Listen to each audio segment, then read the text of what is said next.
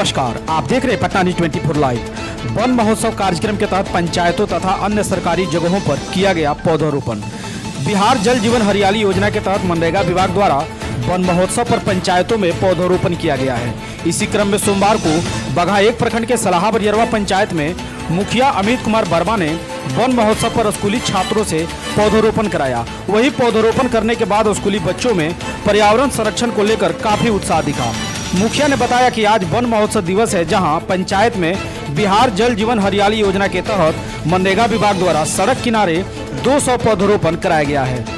मुखिया ने बताया कि पौधरोपण के दौरान पढ़ने जा रहे स्कूली बच्चों ने रुककर सबने एक एक पौधा लगाया और सभी बच्चों ने पौधों के संरक्षण के लिए लोगों से अपील भी किया। हालाँकि पौधरोपण के बाद बच्चों में पर्यावरण संरक्षण के प्रति काफ़ी खुशी देखी गई।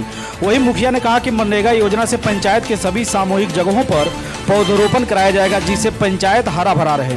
उन्होंने भी बताया कि पौधों के संरक्षण के लिए वन पोषक की बहाली कराई जाएगी ताकि सभी पौधों को सुरक्षित रखा जा सके।